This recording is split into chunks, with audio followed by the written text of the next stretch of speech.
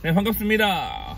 어, 여러분들 지금 2022년 1월 12일입니다.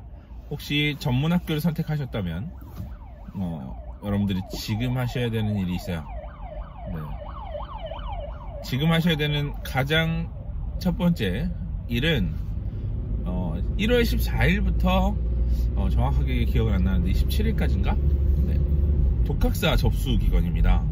저- 독학사 접수 기간입니다. 그래서 어, 어, 인터넷에 독학학위제라고 검색을 하시면 사이트가 나옵니다. 거기서 네, 접수하십시오. 아 저는 올해 작년부터는 올해 준비를 안 했는데요. 그래도 일단 하십시오. 일단 하시고 지금부터 준비하는 겁니다. 시험이 뭐 당장 내일 모레 있는 것이 아니라 2월 말쯤에 있기 때문에 아, 어쩌면 충분한 시간이 될 수도 있어요. 그리고 다섯 과목 시험을 보게 될 텐데 다섯 과목 다 합격하지 않아도 됩니다. 물론 합격하면 너무 좋고요. 네, 한 두 과목, 세 과목만 합격해도 8학점, 12학점이기 때문에 뭐세 세, 학- 세 과목을 합격했다 칩시다. 세 과목 같은 세 과목이면 12학점이에요. 4, 3, 12. 그러면 이게 어떤 학점이냐면 3학점짜리 4개를 15주를 공부를 해야 받을 수 있는 학점이에요. 물론 자격증도 있겠지만 이런 독학사 같은 경우를 미리 좀 확- 획득을 해 놓으면 어, 자격증과 기본적인 학점들을 더해서 네, 우리가 다른 뭐 자격증 시험에 응시할 수도 있고 그리고 네, 앞으로 우리가 전문학사로만 끝내실 분들은 사실 안 하셔도 돼요. 하지만 지금 뭐 2년 안에 학사를 만, 만들고 싶으신 분들 또는 2년 후에라도 나는 천천히라도 학사에 관심이 있는 분들은 독학사 시험을 보세요. 네.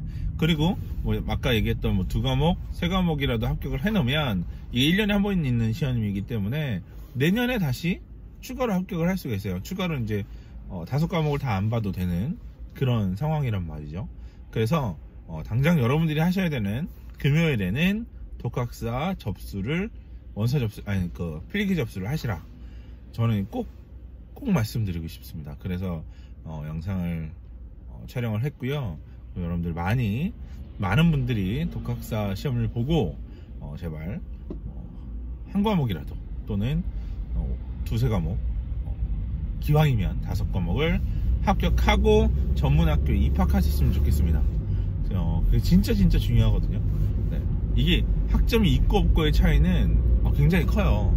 어, 지금이야 아 뭐야 무슨 뭐 학점을 벌써부터 준비해라고 생각하겠지만 나중에는 그 학점 은행제의 경우는 결국 어, 학점의 수로 전문 학사와 학사가 갈리기 때문에 꼭 꼭 접수하시기 바랍니다. 아셨죠? 이틀 후, 후부터 할 수 있는 독학학위제 인터넷 검색으로는 독학학위제라고 검색하시면 됩니다. 네, 꼭 준비하세요. 네, 꼭 준비하셔서 어, 좋은 학점 가지고 설계하시면 좋겠습니다. 여기까지 하겠습니다. 안녕.